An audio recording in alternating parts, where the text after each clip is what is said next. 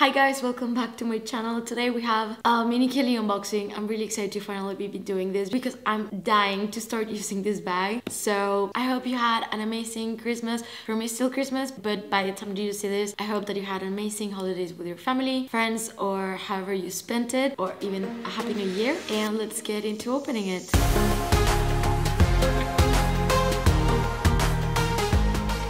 In case this is the first video that you see of me, my name is Lou and I make videos about luxury handbags, shoes, traveling. I also do vlogs. If you like any of those topics, please consider subscribing to my channel and click the notification bell down below so you don't miss any of my videos. This is a very exciting unboxing for me. I've been waiting for this bag for so, so long and it took me moving countries to be able to finally get it. I got this like a couple of weeks ago and it's been under the tree since. I wanted to give you a proper video with mod shots and what fits and like the full story instead of like putting it into a vlog. For me, this is very, very special. I don't know, thing is, I, really wanted to make like a full video for the Mini Kelly. I think that it deserves its own thing. I'm gonna talk about everything, the process, the price, um, a little bit of backstory. I just moved to Barcelona. So I was living in Mexico and in Mexico, it's easier to get back. So I had an amazing SA and I would put myself on the wish list and I would get the calls and it was no purchase history or anything like that. And surprisingly, here in Barcelona is is similar in some ways. So when I moved here, I went to the boutique because I wanted to get something for my birthday. So I went and bought a pair of cheaper sandals and that's when I started to have an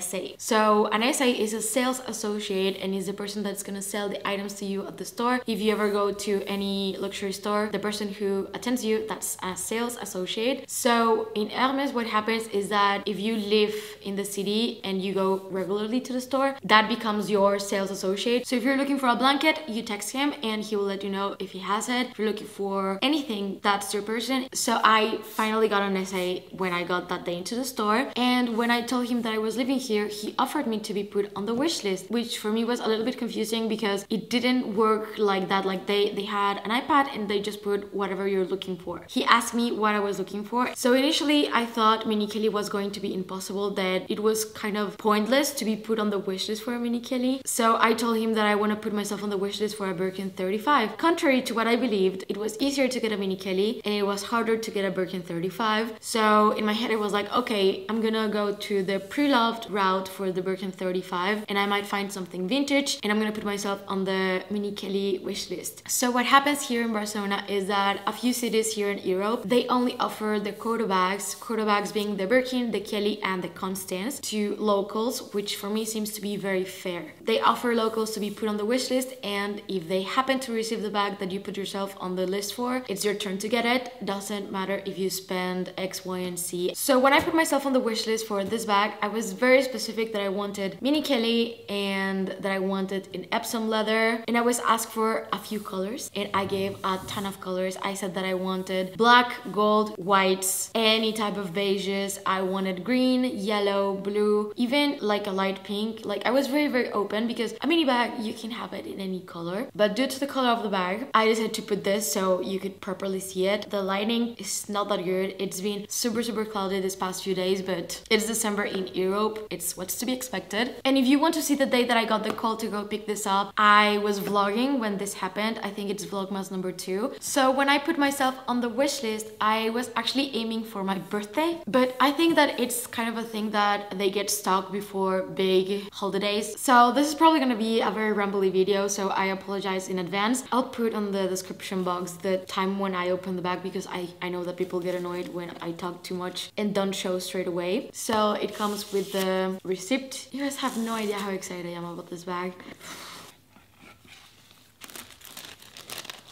The smell of a new bag is insane super super tiny. Same as always in its little box. We also have the raincoat and we have here the booklet. Okay here comes the fun part. Guess the color because so many of you guessed the color so fast like even on the Q&A you guys know the color that it was which is crazy to me because of course I didn't know what I was gonna get offered because I put like many many shades and different colors on the wish list. So let me know what you think it is but let's open it up. It's crazy to think that I actually got exactly the top of my list color that I wanted for mini Kelly and I'm really scared that the lighting of the camera is gonna mess the true shade of this bag, especially because it's so cloudy. I'm gonna try to put like videos of it so you can see it properly. Ah, it's beautiful, the little fit. I want to take the everything off because I'm definitely gonna start using the bag as today. Like it's gonna be the Christmas Day bag. It's Claire. It's a mini Kelly in Claire with palladium hardware. And I know you would have thought that if I asked for Claire, I would have gone with gold hardware. But I actually think that Claire looks better in palladium because it makes it look a little bit more like vanilla. I have a mini Kelly now and you know why it's so great that it's in this color? I use my white classic flap so much it just looks so good with everything. So let's open it up. I am 5'1", so I believe that a mini Kelly was like the perfect size for me. It was too hard to find. I put myself on the wishlist back home so many times and it never happened. This is also so tiny. Oh, it's so cute. This is the inside of the bag and the strap. So I actually saw it only like 10 seconds at the boutique, so I'm soaking it all in right now. Let's put the straps on. So here is with its strap. So if you came here just at the bag, here it is. And if everyone wants to hear like a little bit more of the backstory and to see what fits and mugshots and everything, you're welcome to stay. Okay, so the price of the bag was 6,000 let me check on the receipt. It was 6,100 something.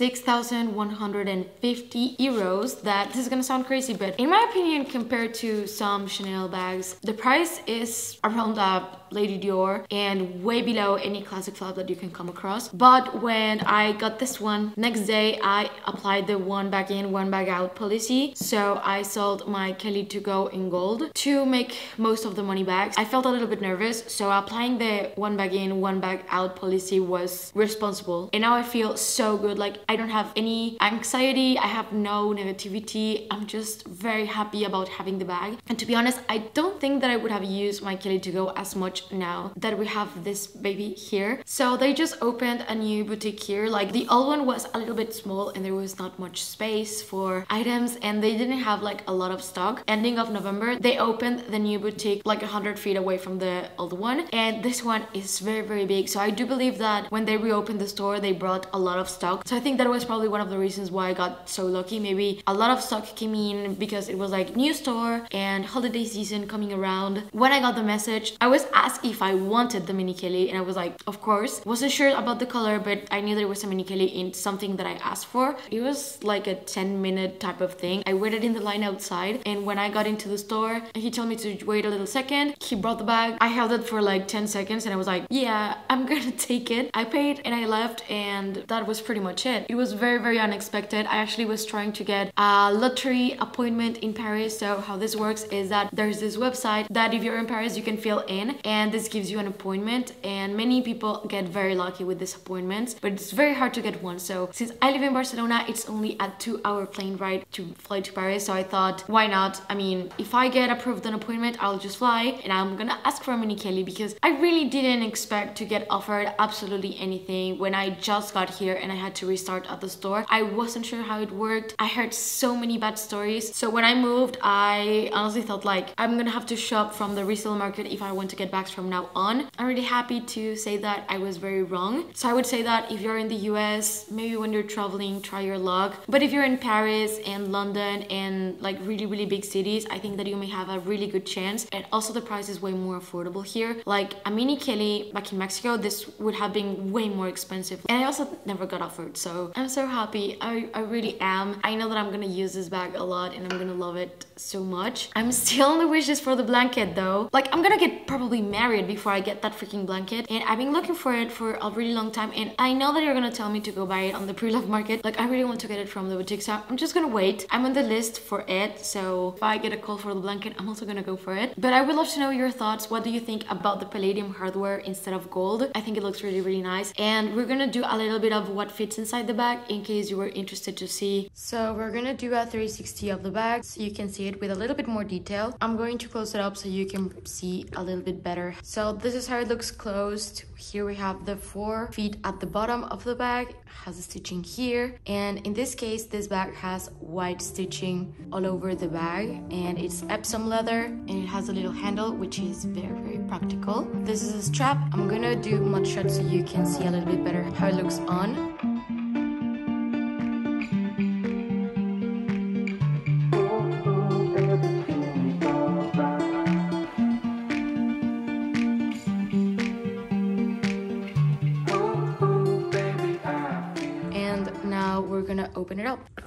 So this is how the bag looks open and you cannot see very well the stamp because it's in palladium. It only has a back pocket. Now let's take the stickers off because I'm really excited about that part.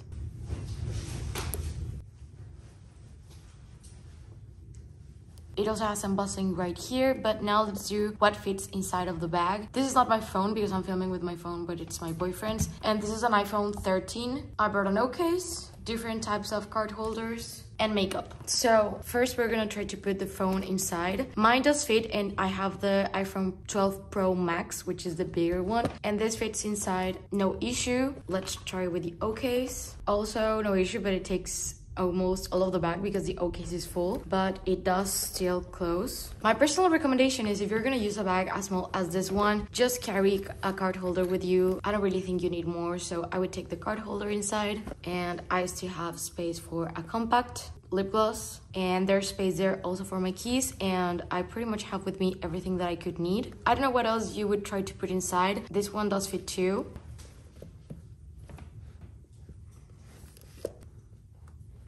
So I think for being such a small bag, it does pack enough. So I'm really excited to start using this one. I still have a lot to test on the bag. Of course, I haven't gotten the chance to use it. And hopefully this will become one of my favorite bags in my collection. I think this is going to be it. If you're new to my channel, please consider subscribing and click the notification bell down below so you don't miss any of my videos. If you're not done watching, I'm gonna leave you two videos right here in case you want to check them out. Thank you and see you on the next one. Bye.